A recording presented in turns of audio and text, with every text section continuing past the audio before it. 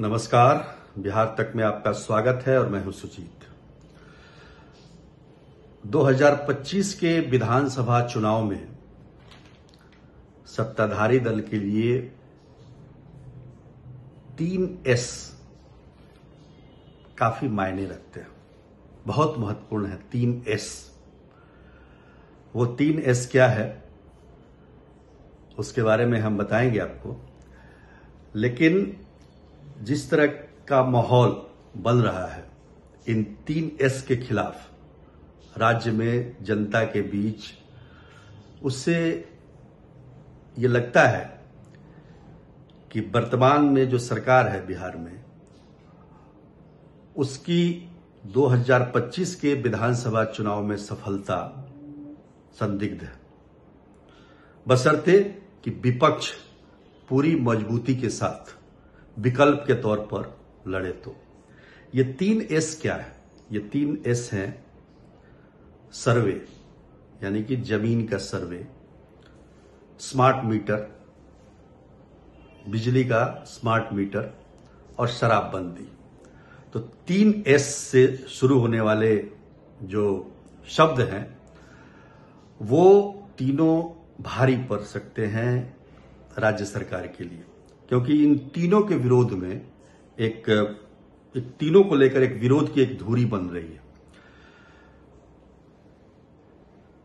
Smart meter के बारे में तो लगातार हम बता ही रहे हैं आपको और किस प्रकार से आंदोलन भी शुरू हो गया उसको लेकर हल्ला बोल करके सीमांचल के क्षेत्रों में। स्मार्ट मीटर अच्छी चीज़ है और इसमें आप कितनी बिजली इस्तेमाल करते हैं, वो आपके हाथ में है। लेकिन राज्य सरकार ने इसको लागू करते समय जनता का भरोसा नहीं जीता। भरोसा कैसे नहीं जीता? क्योंकि राज्य सरकार ने इसको अपने ऊपर प्रयोग नहीं किया। जनता पर थोपने की ज़बरदस्ती ज़रूर की। अगर अपने ऊपर प्रयोग होता तो सरकारी भवनों में विधायकों के आवास पर, मंत्रियों के आवास पर, अधिकारियों के आवास पर पहले स्मार्ट मीटर लगाया जाता। और उसके बाद जनता को प्रेरित किया जाता कि आप भी स्मार्ट मीटर लगाएँ। लेकिन चूँकि इस बिजली विभाग के क्रियाकलापों के बारे में मीडिया में उसके भ्रष्टाचार को लेकर इतनी बातें आ गई हैं कि जनता का विश्वास हिल गया है स्मार्ट मीटर को लेकर। अब जो सीएमडी थे, ऊर्जा विभाग के प्रधान सचिव संजीव हंस के बारे में आपको पता ही होगा।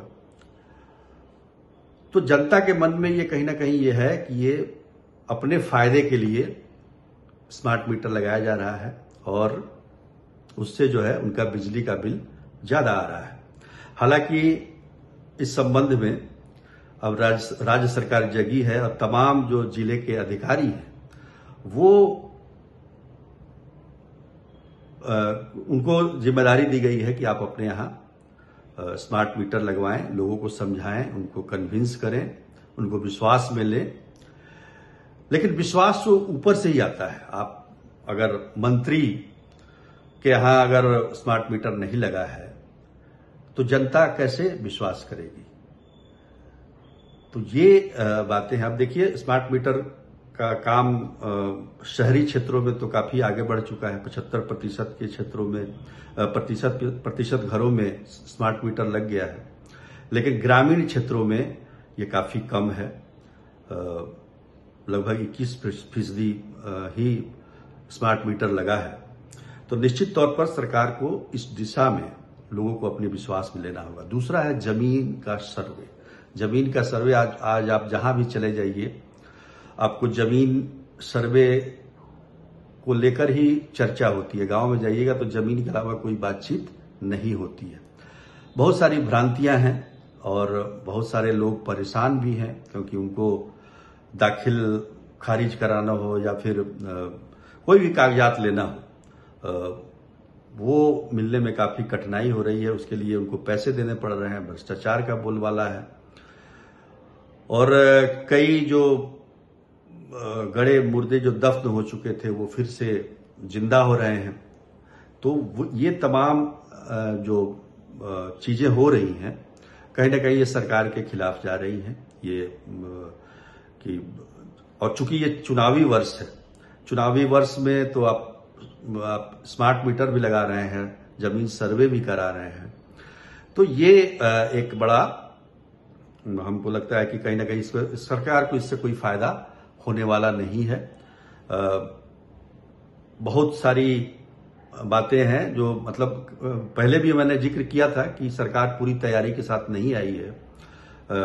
नब्बे वर्षों के बाद ज़मीन का सर्वे हो रहा है बिहार में, लेकिन सरकार को जिस तैयारी के साथ आना चाहिए था, जिस ज़ोर शोर के साथ आना चाहिए था, वो सरकार नहीं आई है।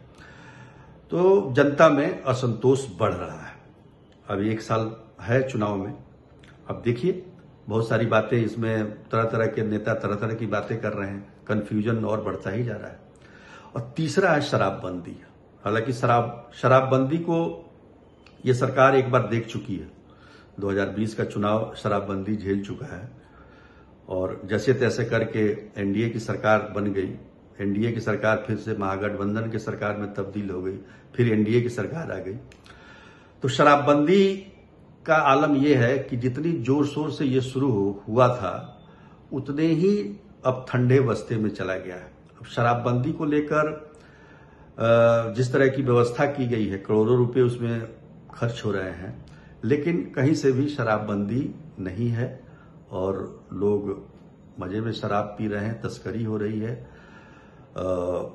एक अलग इकोनॉमी तैयार हो रही है और उसके अलावा नशा करने वाले युवकों को मतलब जो नवयुवक हैं, वो एक अलग तरीके का नशा भी, जिसको ड्रग्स कहते हैं, उसके चपेट में जा रहे हैं।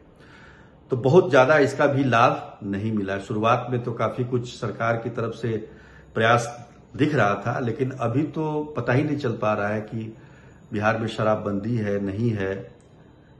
शराबबंदी कानून में कई अमेंडमेंट किए जा चुके हैं। तो काफ़ी लचर व्यवस्था है, कहने का मतलब ये है। के के पाठक जब तक थे, इसके प्रधान सचिव तब तक तो लग रहा था कि शराबबंदी कोई चीज़ है। अभी अभी तो कहीं से कोई आवाज़ सुनाई नहीं देती है। कभी कभी पुलिस वाले या आबकारी वाले छापा पकड़, मार के कुछ पकड़ लेते हैं दिखाने के लिए। तो वो सामने आता करे तो शराबबंदी है, लेकिन वैसे आपको कहीं से भी ये पता नहीं चलेगा कि बिहार में शराबबंदी है। तो ये तीनों एस जो है, सर्वे, स्मार्ट मीटर और शराबबंदी, ये बिहार की जो एनडीए सरकार है उसके लिए एक बहुत बड़ा खतरा है। और अगर सरकार इसको तरीके से हैंडल नहीं करती है तो चुनाव में इसका बहुत नुकसान हो सकता है। हालाँकि चुनाव में अभी एक साल की देरी है और विपक्ष को भी विकल्प के तौर पर अपने आप को तैयार करना है। प्रशांत किशोर भी हैं इस बार तो वो भी देखना है। कहने का मतलब यह है कि इस तीन एस जो, ये तीन एस जो हैं, वो एनडीए सरकार के लिए बहुत भारी है। तो आज के लिए इतना ही, तब तक के लिए, नमस्कार।